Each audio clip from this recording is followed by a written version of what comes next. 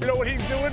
He's doing it. This guy's special. This guy's gonna be around for a long time. That's right, Shehadi, we're doing it. Let's roll the tape. Look at that load, hands, fire, bam. He's doing it. You're doing it, doing it. You're doing it, doing it. You're doing it. He is doing it.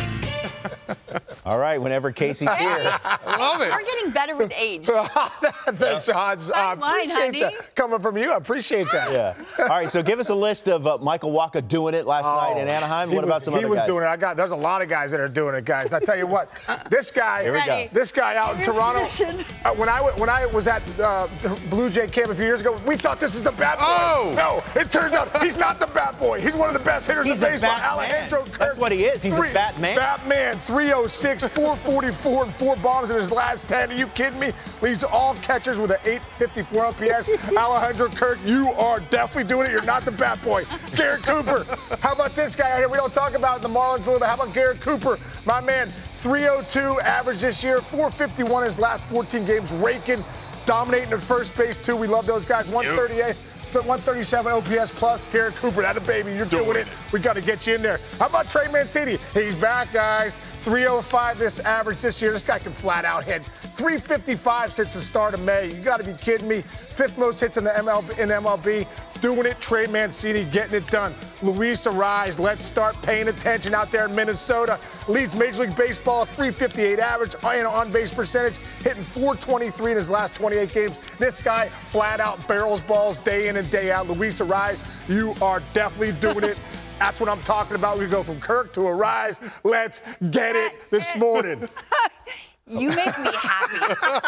I know, right? You're definitely not the bad boy.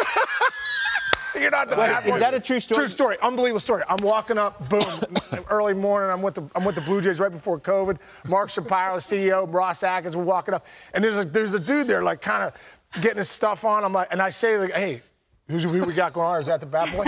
And, and, and Ross goes, no, no, no, that's not the bat boy. That's our number one hitting prospect. I, I- seriously, if you see Kirk, you're like, no chance. Right. he must be kidding. But next thing you know, he goes, watch him in BP. So he goes, he, he, he barrels everything. So I, go, I pay attention to him. And he was right. Liner, liner, liner, liner, liner. And then all of a sudden, hello, he's one of the best hitters in baseball. Raking. I mean, Rick barrels everything. We forgot someone on your list, Willson Contreras, who you've been spotlighting and noticing lately. Robert and I traded him before the show. We already I know. I heard you. oh, you know. Look, there's a half a dozen teams, maybe even more, that could use Willson Contreras right now. I, I, I perfectly understand that. Um, the Cubs, though, they're they're looking maybe shorter term. Yeah. And and they want to build around him. This guy is worthy of getting a team built around him. Leadership skills, yes, of course. Makeup, yes. However, you can talk all about personality and the way. Uh, you uh, conduct yourself in the clubhouse, but you have to perform, Kate. Yeah. That does not don't, don't come with your leadership skills if you're if you're not polling, right? And this guy is absolutely crushing. We can arguably say that he is the best offensive catcher in baseball. Yeah? Um, so are the Cubs looking to trade him? Uh, that would be that would be just pretty much sending a message. We're rebuilding. All right, we're gonna tear all down. But hasn't that message already been sent? Uh, or no? Partly. Okay. And, and I think maybe that's the way it works in Chicago. Like you, you never just tear the team down. You, you still want to fight. And look, they're they're playing. They got Ian Happ there. They got Nico Hoerner there. So maybe they're not that far back that they're going to let go of Contreras. It's just this guy is special. And watching him play, even if you play him from three straight days, uh, Lauren, you know, a weekend, you're like, okay, this guy's the real deal. Uh, and he's been doing it and not getting, doing it, doing it, doing Yes. it well. Yes. He was raised out in Brooklyn.